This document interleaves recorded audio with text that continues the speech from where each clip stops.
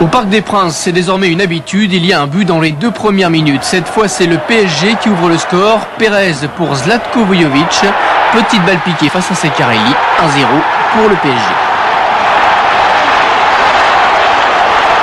26e minute, Liasser servi par Vujovic sur l'aile gauche. Centre pour Daniel Bravo et le PSG fait le break. Les Stéphanois déjà groggy vont être définitivement KO deux minutes avant la pause. La défense forésienne toujours aussi perméable et Vujovic en profite pour inscrire son deuxième but personnel, 3-0 à la mi-temps. Seconde période, Bravo a reçu le ballon de Safet Suzik. Il fixe la défense et retrouve son capitaine. Le reste, c'est tout simplement du Suzik dans le texte.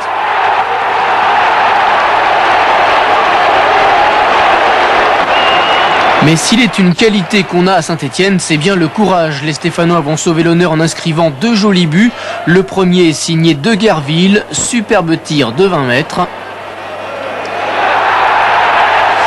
À deux minutes de la fin, Etienne Mendy va offrir le deuxième but à Rob Witschke, reprise canon du néerlandais. 4 à 2, la pilule passe un petit peu mieux.